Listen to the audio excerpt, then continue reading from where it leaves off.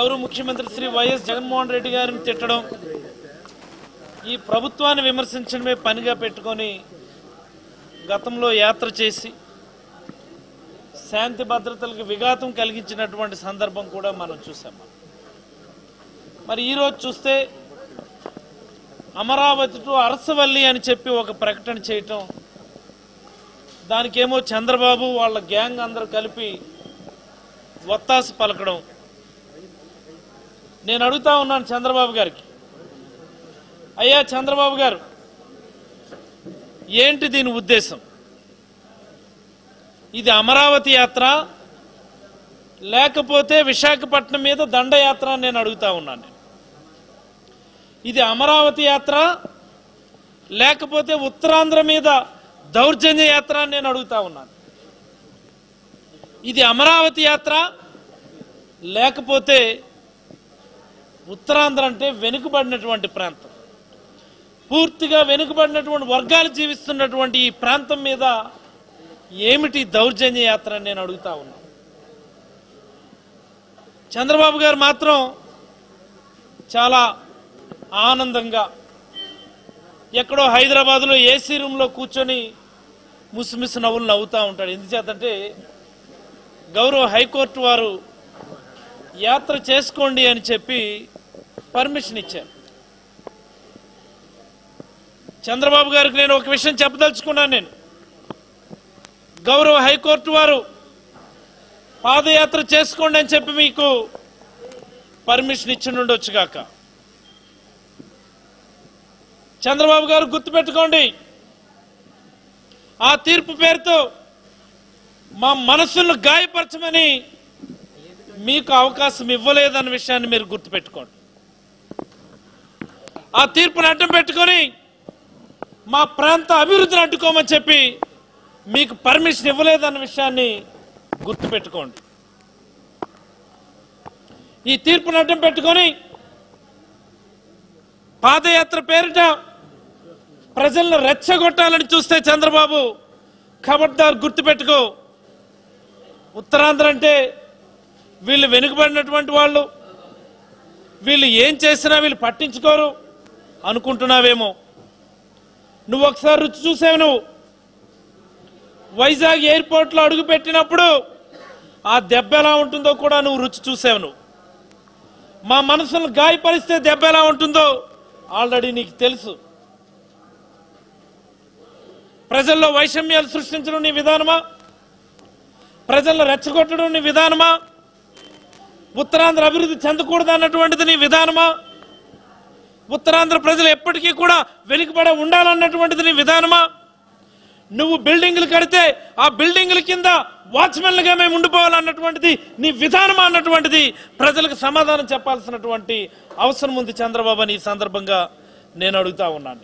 ఏదైతే ఉందో ఇది ప్రజలందరి రాజధాని అని ఎలా చెప్పగలను? ఐదున్నర కోట్ల ప్రజల మనోభావాల్ని ఈ అమరావతి ప్రతి వాట్ ఐ మీన్ ప్రజలకి ఒక దిక్సూచిగా నిలబడుతుందని నువ్వెలా అనగలవు నువ్వు? అది ప్రజల రాజధాని కాదు. అది బహుజన రాజధాని కాదు. కేవలం మీ కుల రాజధాని అది. ఈ ప్రపంచంలో ఒక కులం కోసం రాజధాని కట్టినటువంటి నాయకుడు ఎవడైనా ఉన్నాడంటే అది కేవలం చంద్రబాబు అని ఇలాంటి నీచ చరిత్రలో నువ్వు కూడా కలిసిపోతావని చెప్పి సందర్భంగా నేనైతే హెచ్చరిస్తా ఉన్నాను. లేకపోతే ఎగ్జిక్యూటివ్ క్యాపిటల్గా డిక్లేర్ కాబడినటువంటి వైజాగ్ మీదుగా నువ్వు ఏ ధైర్యంతో నువ్వు అమరావతి రైతుల పేరిట యాత్ర చేయటానికి నువ్వు ముందుకొచ్చావు?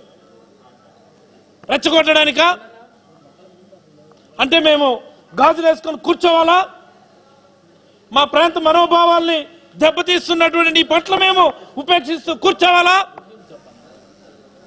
నువ్వు వస్తావు నువ్వు. లేకపోతే నీ తరపున నీ కొడుకు వస్తాడు. లా అండ్ ఆర్డర్ ప్రాబ్లం అని చెప్పి ఎక్కడో దగ్గర ఆపేస్తే అదొక పెద్ద దేశ సమస్య మాత్రం మీరు మాట్లాడతారు. అవసరమా మాకు? మా ప్రాంత మనోభావాలు గౌరవించినటువంటి మిమ్మల్ని ఈ ప్రాంతంలో అడుగు పెట్టనివ్వడం తప్ప నేను అడుగుతా ఉన్నాను నేను. ఎలా అడుగు పెడతారు మీరు? మా ప్రాంతంలో రాజధాని కడతామని చెప్పి గౌరవ ముఖ్యమంత్రి గారు అంటా ఉంటే వద్దని చెప్తావు నువ్వు యాత్ర చేయించడానికి నీకు ఎంత ధైర్యం నీకు? ఏమిటి తమాషాలు? అంటే నువ్వేం చేసినా సరే మేము తమాషా చూస్తూ కూర్చోవాలా? ఎలా కూర్చుంటాం? ఉత్తరాంధ్ర అంటే ఉద్యమాల గడ్డ. ఈ వెనుకబడు వెనుకబాటుతనానికి నిరసనగా దశాబ్దాల పాటు ఉద్యమాలు చేసినటువంటి చరిత్ర కలిగినటువంటిది ఉత్తరాంధ్ర. ఇక్కడే నువ్వు తమాషాలు చేస్తావా? ఇది తప్పు ఇది ప్రజల్లో వైషమ్యాలు రెచ్చగొట్టడం తప్పు. ప్రజల సున్నిత భావాల్ని రెచ్చగొట్టడం తప్పు. ముఖ్యంగా ఉత్తరాంధ్ర ప్రజలు అవమానించడం తప్పని అని సందర్భంగా నేనైతే చంద్రబాబుకి హితవు పలుకుతా ఉన్నాను పోతే గౌరవ ముఖ్యమంత్రి శ్రీ వైఎస్ జగన్మోహన్ రెడ్డి గారు ఈ రాష్ట్రంలో ఉన్నటువంటి అన్ని ప్రాంతాలు సమానంగా అభివృద్ధి చెందాలని. ఇప్పటికే అభివృద్ధిగా అభివృద్ధి చెందినటువంటి విశాఖపట్నంలో ఒక ఎగ్జిక్యూటివ్ క్యాపిటల్ పెట్టి ఉత్తరాంధ్రను పూర్తిగా ఒక అభివృద్ధి చెందిన ప్రాంతంగా ముందుకు తీసుకెళ్ళాలని అనుకుంటే నీకేంటి బాధ? నీకేంటి కష్టం? సరే అమరావతి అమరావతి అని నీవు అంటా ఏంటి అమరావతి? మొన్న ఎప్పుడో పేదలందరికీ ఇళ్ళ పథకం కింద అక్కడ కొంత భూములు ఇస్తే ఇక్కడ పేదలకు ఇల్లు ఇవ్వడానికి అవకాశం లేదు. సామాజిక సమతుల్యత దెబ్బతింటుందని చెప్పి కోర్టుకు వెళ్ళినటువంటి నీవు మరి నిన్న కాక మొన్న కేబినెట్లో అఫోర్డబుల్ హౌసింగ్ కోసం అని చెప్పి అందరూ అర్హులే అని చెప్పి జీవో ఇస్తే దాని మీద రాద్ధాంతం చేస్తున్నటువంటి నీవు కేవలం అక్కడ ప్రజలే. మీ సామాజిక వర్గం వాళ్ళు అక్కడ ఇల్లు కట్టుకోవాలని నినందిస్తున్నటువంటి నీవు ఈ రాజధాని అమరావతి వాళ్ళు కూడా అమరావతిలో అఫోర్డబుల్ హౌసింగ్కి అర్హులే అని చెప్పి. పెద్ద రాద్ధాంతం చేసేస్తా ఉన్నాం. పెద్ద పెద్ద హెడ్డింగ్లతో పేపర్లో రాయిస్తా ఉన్నాం. చర్చలు పెట్టేస్తా ఉన్నాం. ఇరవై తొమ్మిది గ్రామాల ప్రజలు తప్ప ఇంకెవరు కూడా అక్కడ అడుగు పెట్టకూడదని చెప్పి మాట్లాడుతూ ఉన్నాం. ఇదా నీ విధానం. నీ మనుషుల కోసం నీ సామాజిక వర్గం కోసం నీ పార్టీ కోసం నీ కులం కోసం ఒక నగరాన్ని నిర్మించుకుంటా ఉన్నావు. ఇదా నువ్వు పద్నాలుగు సంవత్సరాలు ముఖ్యమంత్రిగా చేశానంటూ. నలభై సంవత్సరాలు రాజకీయాల్లో ఉన్నానంటావు. ప్రపంచంలోనే అత్యంత సీనియర్ అంటా ఉంటావు. నీ జీవితంలో ఒక్క ప్రాజెక్టును కూడా పూర్తి చేయలేకపోయావు. మళ్ళీ నిన్ను మాట్లాడుతూ ఉన్నావు. అవుటర్ రింగ్ రోడ్డు నువ్వే కట్టేవని శంషాబాద్ ఎయిర్పోర్ట్ నువ్వే కట్టేవని ఇంకోటి ఇంకోటి. నీ జీవితంలో ఒక్క ప్రాజెక్టునైనా సరే పూర్తి చేసావా అని నేను అడుగుతా ఉన్నాను నీ జీవితంలో నువ్వు కల్పించినటువంటి ఉద్యోగం ఏదైనా ఉందంటే నీ కొడుక్కి మంత్రి పదవి. నీ జీవితంలో నువ్వు ఏదైనా పూర్తి చేసిన ప్రాజెక్ట్ ఏదైనా ఉందంటే అది కేవలం ఒక్క హెరిటేజ్ ప్రాజెక్టే అని ఈ సందర్భంగా నేనైతే చంద్రబాబుకి తెలియజేస్తా ఉన్నాను.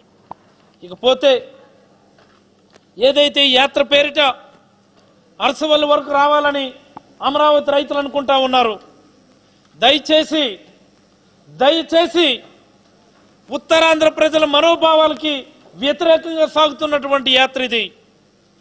విశాఖపట్నం ప్రజల మనోభావాలకి వ్యతిరేకంగా సాగుతున్నటువంటి యాత్ర ఇది.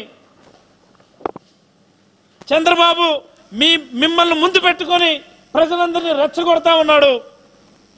చంద్రబాబు మిమ్మల్ని ముందు పెట్టి రాజకీయాలు చేస్తూ మా ప్రాంతం మీద దెబ్బ కొడతా ఉన్నాడు. గుండెల మీద దెబ్బ కొడితే ఎలా ఉంటుందో కూడా మీకు అందరికీ తెలుసు. ఉత్తరాంధ్ర ప్రజలు రెచ్చగొడితే చంద్రబాబు దానికి మూల్యం చెల్లించుకోవాల్సి వస్తుందని చంద్రబాబు రాజకీయ చరిత్ర ఈ ఇరవై నాలుగుతోనే శాశ్వతంగా ముగిసిపోతుందని చెప్పి కూడా నేనైతే ఈ సందర్భంగా తెలియజేస్తూ సెలవు తీసుకుంటా ఉన్నాను.